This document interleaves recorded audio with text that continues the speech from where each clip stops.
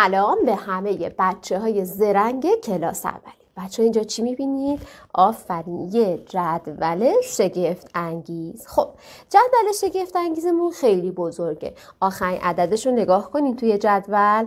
عدد 9 هستش. این جدول ما 9 تایی هستن خونه هاش اگر بشمارید ستون یا ردیفشون 9 تایی هستن. قبلا بهتون گفتم شما می‌تونید جدول شگفت انگیزاتون رو ستونی، ردیفی و یا بچه ها پنجره پنجره جاهای خالیش رو پر بکنید. اگر اومدید و دیدید توی یه ستون چند تا خونه خالی دارید اول میرید سراغ ستون ها یا ردیف ها یا خونه هایی که فقط یک خونه خالی دارن.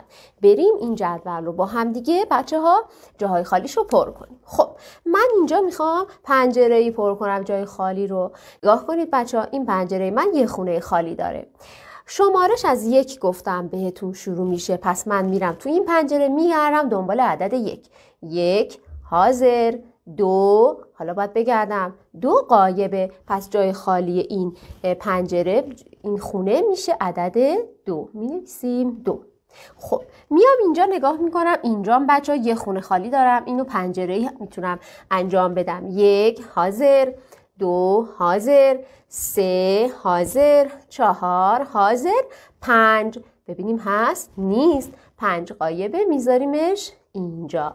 خب این پنجرمون جای خالیش نداره اصلا پر شده همش. میام این پنجره. ببینید بچه ها سراغ اینایی که دو تا خالی داره الان نمیرم. خب این یکی. یک حاضر دو حاضر سه حاضر چهار قایبه.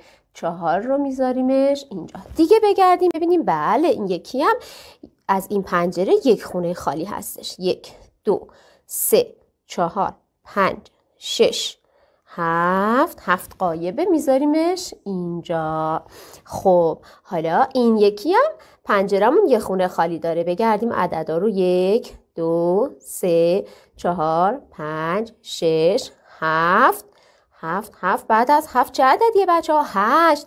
هشت تا می‌بینین اینجا نیست. پس عدد هشت هم میاد اینجا. خب حالا بچه ها ببینید. من چند تا پنجره دارم که دو تا خونه خالی داره. اینجا حالا می‌تونم ستونی یا ردیفی انجام بدم. اول باز دوباره میگردم ببینم تو ستون یا توی کدوم ردیف یک خونه خالی می‌تونم داشته باشم و راحت تر حلش بکنم. خب نگاه می‌کنم. بعض وقتا ممکن اصلا نباشه و ما مجبوریم بچه ها عددها رو بذاریم دوباره آخر سر جدول رو چک کنیم ببینیم اشتباه اگر داریم عددها رو جابجا جا کنیم. الان بچه ها اینجا نگاه کنید.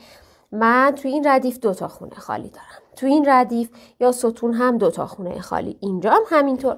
پس باید شروع کنیم دست به کار بشیم و عددها رو بذاریم. خب میایم اینجا توی بچه این ستونمون.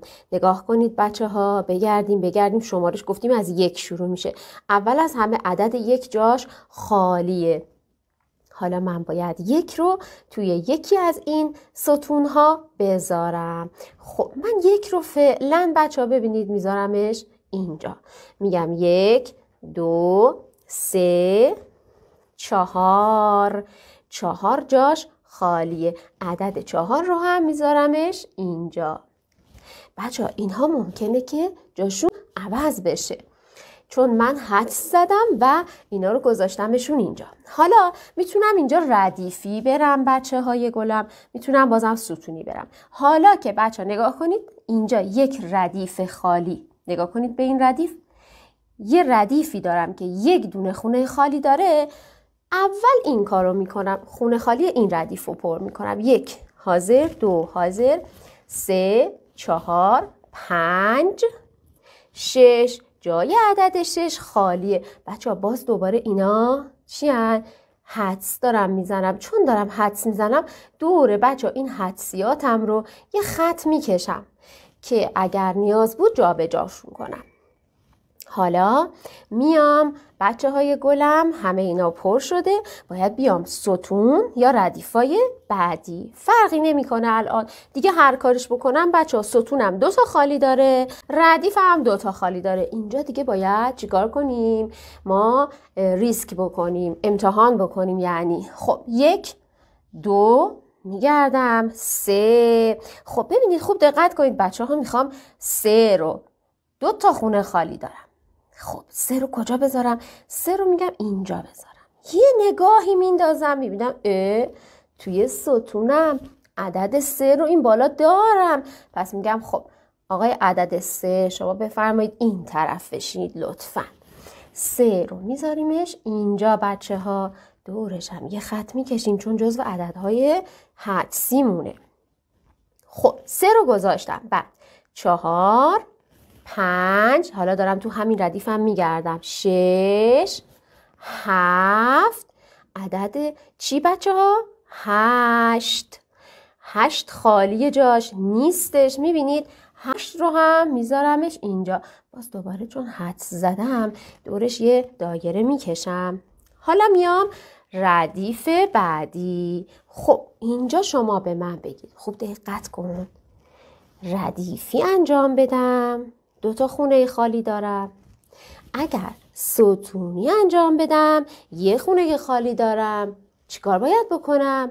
آفرین باید ستونی انجام بدم چون یه خونه خالی پر کردنش خیلی راحت تره. خب پس میرم دوباره شروع می‌کنم توی این ستونم.